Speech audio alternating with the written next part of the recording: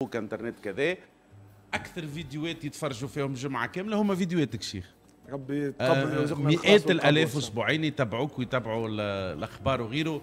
منورنا وربي ربي فضلك بالأمطار بالدنيا الكل جيتنا نحب نشكرك شكر خاص. بالحق معناتها في الانضباط وفي الكلمة وتجي بكل تلقائية وتطوع.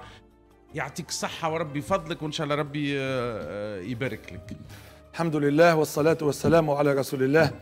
في الحقيقة هذا أقل واجب يقوم بها نقولش الداعية كل مسلم أنه يبذل النصيحة لإخوانه ما استطاع إلى ذلك سبيلا وهو طريق النبي صلى الله عليه وسلم.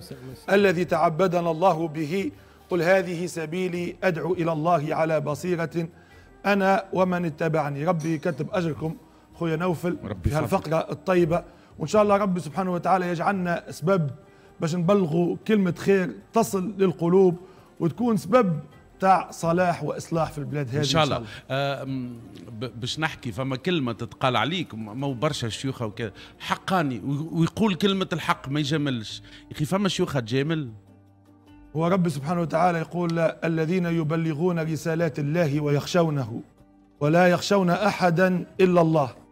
إنسان كي يتكلم خاصة في دين الله عز وجل يعلم أنه يوقع عن الله.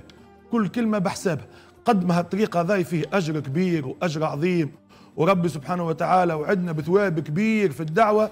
قد ما هو فيه يعني مطبات وفيه أشياء خطيرة خاصة إنه الإنسان لا قدر الله يفتري على الله الكذب أو يتكلم في دون الله في دين الله بغير علم أو أنه يجامل أو ينافق من أجل حظوة من الدنيا ويشتري بآيات الله ثمنا قليلا.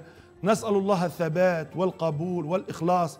وأن ربي يستعملنا في البلاغ عنه والدلالة إليه. إي امنا الشيخ مواطن يسأل فيك يو كي نتفرج كيف فين نفيق أنا بالشيخ يجامل ولا ما يجاملش؟ مش يقولوا وجهات نظر وفما مذاهب وفما معناتها كيف نفرق أنا بين هو سبحان الله كلام الحق عليه نور. النور هذا شنو؟ النور فك الآيات التي يستدل بها القرآن. ربي سبحانه وتعالى نزل علينا القرآن العظيم هذاك اللي تنجم تميز به بين الحق والباطل. ثم الحديث النبوي الشريف. ثم أقوال سادتنا ومشايخنا من العلماء من كبار علماء الأمة. إذا كانت تقول آية ثم تقول حديث. ثم تأتي بتفسير للأئمة الأعلام. قال مالك قال الشافعي. يولي كلامك واضح للناس الكل أنه هذا هو الحق. لأن الأمة هذه لا تجتمع على ضلالة. قال لا تجتمع أمتي على ضلالة. قال ومن يشاقق الرسول من بعد ما تبين له الهدى ويتبع غير سبيل المؤمنين نوله ما تولى ونصله جهنم وساءت مصيرا فالحق أبلج قال النبي صلى الله عليه وسلم. تركتكم على المحجة البيضاء ليلها كنهارها لا يزيغ عنها إلا هالك. الحق يبدأ واضح. تعرف اللي نافق واللي يجامل واللي يتكلم باش يرضي ربي سبحانه وتعالى. هذاك هو الصدق. إذا كان الإمام ما تكلمش بصدق ولا الداعية ولا المسلم راهو في ساعة الناس تعرف حقيقته في. ساعة تكشف لا باش نعطيك مواطن بسيط ومثلا شيخ يفتي له ولا يهز الاثنين خاطئ أو هو تبع الذنب على المواطن ولا على الشيخ ما هو قال النبي صلى الله صلى عليه عليه وسلم. وسلم يصلون بكم فإن أصابوا فلكم ولهم وإن أخطأوا فلكم وعليهم إذا كان الإنسان على نيته وسمع عالم عنده فيه ثقة لأنه هذا الأمر دين كما قيل. أي. فاعرفوا عمن تأخذون دينكم.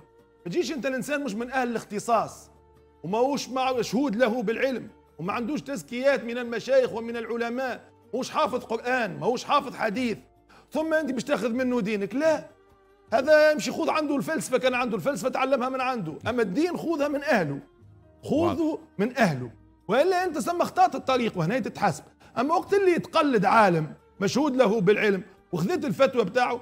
إن شاء الله نقولوا من قلد عالما لقي الله سالما. إن شاء الله. وجيتنا من الساحل وفما برشا أمطار وإن شاء الله ربي يرحمنا ربي يرحمنا ويزيدنا من فضله إن شاء الله بركات إن شاء الله. وخيرات إن شاء الله. نخلي لي كلمة البداية ما نعرفش في الخطبة نتاعك اليوم ولا شنو الموضوع اللي تحب تحكي فيه من الأول. والله ما نجموش اليوم ما نحكيوش على قائد المقاومة وهذا اللي حكيت عليه اليوم في الخطبة. حينما تكون الأحداث قاسية والجراح مؤلمة ما أحوجنا إلى أن نستمع لهذا النداء الرباني. نعم. وهو حبيت نعطيك بتتر معلومة الأخبار جاينا إنه آه، استشهد وهو يضرب معناتها م- هذا هو الدرس اليوم اللي وهو. يجاهد نعم. لآخر لحظة في حياته. استشهد رحمه الله يعني مات تعالى وسلاح في يده. نعم وتقبله الله في الشهداء. إن شاء الله يا رب. أعطانا درس وقد منا درس هو حي وهو ميت. موعظة كبيرة اليوم للقلوب. كيفاش الرجل هذا كان سيد المقاومة ومع ذلك في الصفوف الأولى وسلاحه في يده ومات بضربة في الرأس في الجبين يعني مقبل غير مدبر ومتكئ على على أريكته كما عاش في الصور سبحان الله. هذا كأنه رب سبحانه وتعالى أراد أن يضع له البشرى في الحياة الدنيا. كما قال الله عز وجل ولا نزكي على الله أحد ألا إن أولياء الله لا خوف عليهم ولا هم يحزنون. الذين آمنوا وكانوا يتقون لهم البشرى في الحياة الدنيا وفي الآخرة. راهو الصهاينة كان بإمكانهم أن يجردوه من سلاحه وأن يأخذوه إلى نفق من الأنفاق ويضعوا حوله أحسن الطعام والشراب والدولارات ويصوروه للناس يقولوا لهم هذا هذا قائد المقاومة هذا قائد طوفان الأقصى. انظر كيف كان يعيش. لكن أبى الله عز وجل إلا أن تتسرب الصور من اللحظات الأولى. ونرى قائد المقاومة وهو في الصفوف الأمامية. ما عندوش حراسة خاصة. في آخر لحظة يرمي بعصا بيده يرمي بها الطائرة التي جاءت لي يعني تكمل عملية القتل والاغتيال. لآخر لحظة ذكرنا بحديث النبي صلى الله عليه وسلم إذا مات أحدكم إذا قامت الساعة وفي يد أحدكم فسيلة فليغرسها. يقول القائل الساعة قامت والشمس كورت والنجوم انكدرت وأحداث يوم القيامة. ويقول لك تغرس فسيلة أخي باش تاكل منها أنت؟ لا باش يعلمنا المطلوب منك العمل.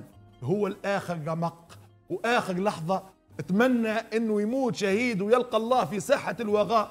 وكتب الله له ما أراد. نسأل الله أن يتقبله في الشهداء وسائر شهداء الأمة. إحنا قبل يومين قصة الشهداء ولينا نسمعها كأن إحنا قبل يومين كنا نحتفلوا بعيد الجلاء. هؤلاء شهداء راهم ماتوا في قتال المستعمر. كما قاعدين يموتوا إخواننا اليوم في قتال الصهاينة. نسأل الله أن ينصر جنود الإسلام وأن يمكن للمسلمين. إن شاء الله.